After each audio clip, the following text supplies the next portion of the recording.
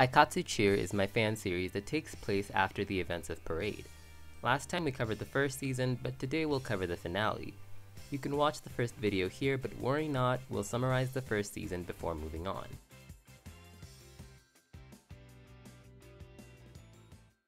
Raki and Wakaba have become diamond friends after the events of Parade. Olive joins Star Harmony expecting it to be easy, but she quickly learns how hard Aikatsu is. Kaori is her roommate, and while at first they don't get along, eventually they form Novadoll. They're joined by Nandy, a traveling idol, and April, a shy goth from Moonlit Academy. Together these two form Festivia. Pure Palette comes back for a bit and combines with Cheerstar to form a Mega Friends unit. Our main four combine too, and despite losing, it's an important milestone. After this, our final new characters appear, Aiko and Gabriella. Aiko's a stylist who's unsure of herself, and Gabriella's a really confident model. Together they form Mermaiden. When the Diamond Friends Cup starts, I left it open, but the winner is nobody. It's a tie. Our main characters Novadoll made it to the finals and tied with Cheerstar. Unwilling to accept this, the two vowed to face each other in a year.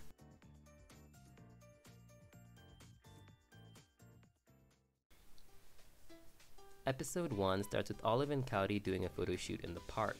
They're posing for Aikatsu's style in their old PR when a beautiful voice interrupts them. The two stop for a moment and follow the sound to a calm girl singing her heart out. The two cheer, but she stops immediately. Her name is Evie, and she's feeling rather shy. The girls encourage her to become an idol, and she thanks them before leaving. After the shoot, the girls notice a banner for a new idol school, Future Academy. They're offering tours and auditions, so they decide to take a look. On the largest stage, they spot Evie again, who's taken their advice and is reassured by their presence in the crowd. Her voice stuns the judges, and Tamaki's ashamed she didn't scout her first. Evie thanks the girls for encouraging her, and the episode ends. Episode 2 is at Star Harmony, and it's during their career day. The main four attend as Idol alumni such as Love Me Tear talk about their current career paths. Nandy feels a little left out as she not only doesn't have an idol school, but she also has no clue what she's doing anymore. She travels around with her candy shop, but recently, she's been feeling rather stuck. Her friend April empathizes, but Nandy wants to deal with it alone. When she opens her candy shop again, she tries to remember what made it special and realizes the idols she met along the way were the real joy in this journey. As a result, she decides she's going to take her candy shop across Japan, spreading Aikatsu to as many people as possible. I felt that Nandy as a traveling idol should leave the story for a bit so her title is a bit more credible. But anyway, episode 3 is all about Honeycat. They're holding their last show in space and are holding an audition to find their successors. Naturally and thematically, Novadoll sign up. Olive's excited to be in space, but Kaori's got a secret fear of heights. She's also worried her dancing is going to be a lot worse in zero gravity. The two sign up for the audition, and despite winning, Honeycat are really harsh. They force them to work hard in an intense training period, but by the end, they rise above and perform their very first show in space. Given that Novadoll is a space themed friend unit, it just made sense to have them succeed Honeycat in Space Katsu, hence this little episode to bring us some old favorites. Episode 4 is the last one for this mini arc, and it's all about Evie once again. We reunite with Cheerstar on an airplane when they receive a call from Future Academy's principal. This call reveals the two have been working together, and the Cheerstar is hoping to prop up Future Academy as a worthy rival to Star Harmony. They're currently traveling across the world, seeking to improve in different environments. The two agree to support Future Academy, and Wakaba sends a secret gift that the audience doesn't get to see. Back at the school itself, Evie's preparing for her first big solo stage. She calls her new friends for help and they offer all the advice they can give. April reminds her to project her voice, and Nandy calls Mermaiden to help style her. She's all set except for one thing Evie needs a PR. Nandy says she could travel back to find the Humming Leaf designer, but Evie declines Strangely, she seems to have a PR already. She opens up a box in her dressing room, and there it is, the Bellflower coord. They're not sure how she got it, given that Wakaba is still the public muse of the brand, but Evie's performance goes off without a hitch, and the girls celebrate In a scene backstage, we see that Tamaki's worried about Evie's potential and wonders if the girls know just how strong a performer she is. One thing I really admire about Aikatsu Friends is that it only focused on two new characters in season 2. While I didn't like the story, I do think that it would be smart to have just two girls, hence dedicating all this time to just one of them in the first four episodes. Evie is kind of treated like a new protagonist and slowly integrates into our main four.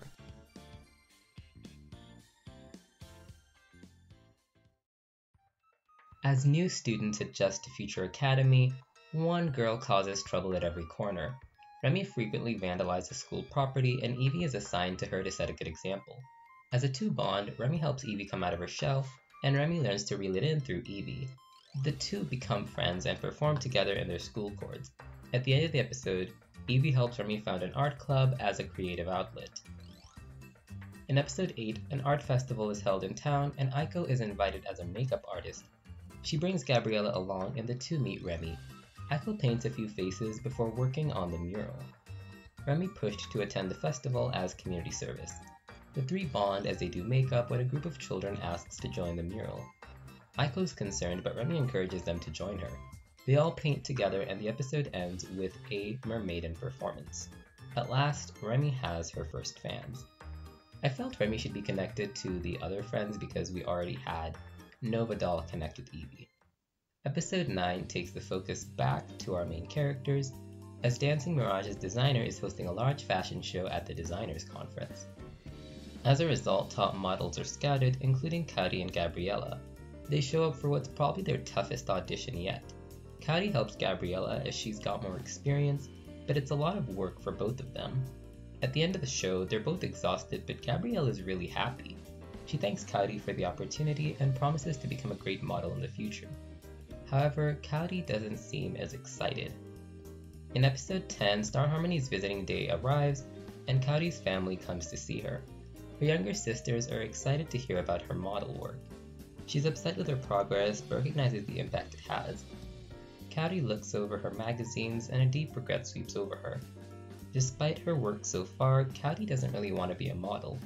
She's always loved dance and so decides to retire as a model. Her fans are worried, but she assures them she'll be a dancer for the rest of her career. This bold step is recognized by her designer, who supports Kaori's decision. She's glad she didn't force herself to do anything she didn't want. The episode ends with a performance in the Night Queen Horde. Episode 11 wraps up this little Remy arc, and it's her PR episode. Remy and Evie are hanging out as Evie's reading some magazines. Their grades are in, but Remy's still barely scraping by. Evie suggests she do something big or get expelled. Looking at her magazine, Evie points out Mio as the designer of Remy's brand, Material Color. Feeling desperate, she decides to seek her out. Mio's living in a penthouse at the moment where she works on her designs. When the two meet, Mio's really intrigued by Remy. She's a lot wilder than she expected, but her passion for the brand is true. Remy gushes over the designs and shows a real love for different fabrics, textures, and mosaics. Inspired by these words, Mio promises to make her a PR. When the big event comes, Remy receives her new PR, the glass art coord. One thing I'm trying to do with the new characters is kind of interweave them with all the cast members because I feel it helps make them more connected. A huge problem in Friends Season 2 to me was the fact that Reflect Moon and Honeycat were kind of in their own orbit, just doing whatever while Pure Palette got to meet the actual main characters of the show.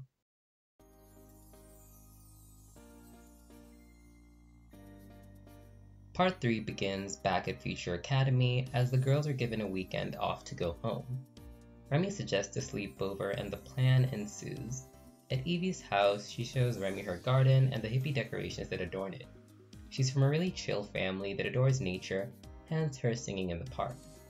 The second half follows Remy's family, who live in a chaotic art studio shared by seven siblings. Remy's the oldest and gets Evie to play with her younger siblings.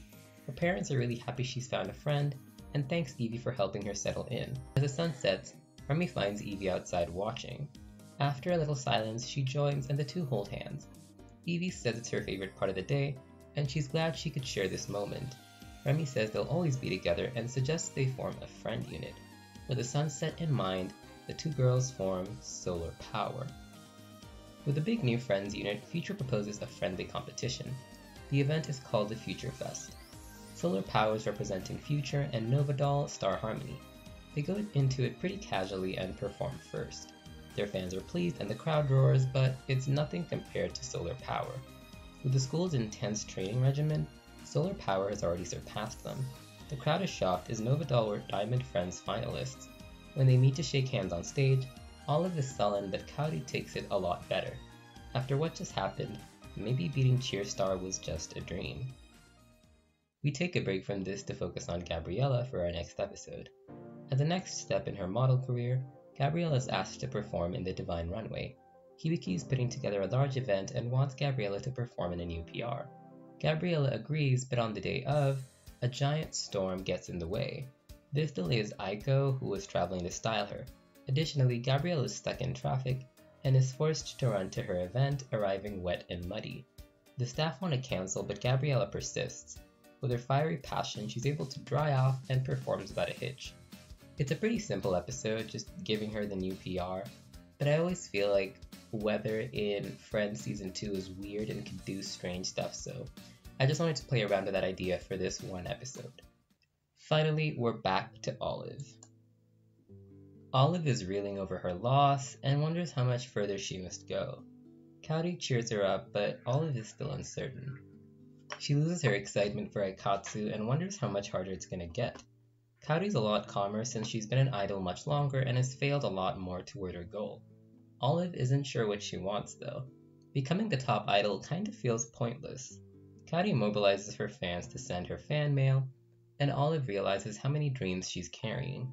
If not for anything, she wants to please her fans, even if that's the only reason. This episode's mostly to address the vagueness of being a top idol as a goal, and a vital step for the arc I want to take all of in. The arc begins with solar power before sending us right back to our main characters, as I feel the future girls are really well established at this point.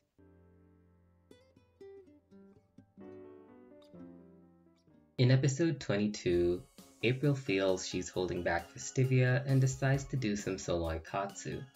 Nandy supports her and steps aside. As a result of Nandy traveling so much, April has been feeling like she's not making any progress, and after losing in the Diamond Friends Cup, she's worried that she doesn't really deserve to be an idol. April decides to pursue a movie audition and pushes herself to overcome her shyness. As she stands alone on the audition stage, she slowly learns what she's really capable of. When the movie releases, the girls watch it together.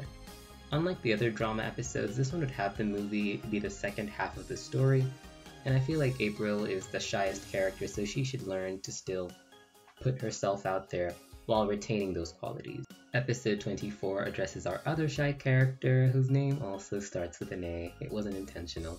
So Aiko gets an opportunity to style a popular model, but she's really unsure of her direction and ends up coming off unconfident.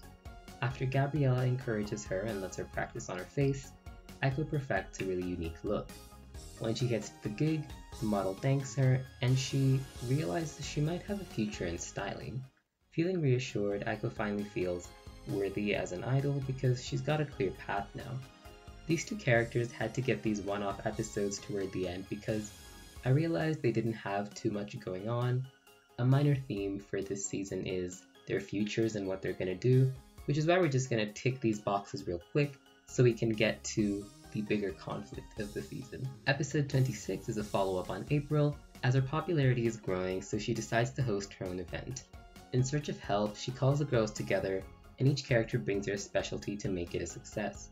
Olive and Nandy handle catering, Remy and Cloudy make merchandise while Gabriella spreads the word using her platform. Evie feels out of place, but April tells her it's fine.